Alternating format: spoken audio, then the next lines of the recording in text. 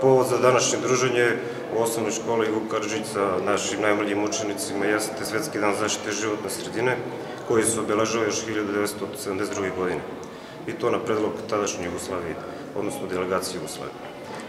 Ovom prilikom u saradnji sa udruženjem Stara planina ovde smo prisutni da deci predamo edukativnu igricu koja ima za cilj da predstavi značaj primarne selekcije, reciklaže i biodiverziteta.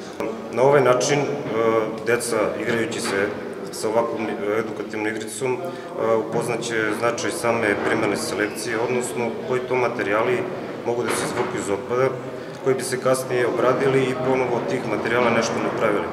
Cilj nam je znači da naše najmlađe, da im podignemo ekološku svest, da oni utiču kroz svoje druženje na svoje drugare i na društvo u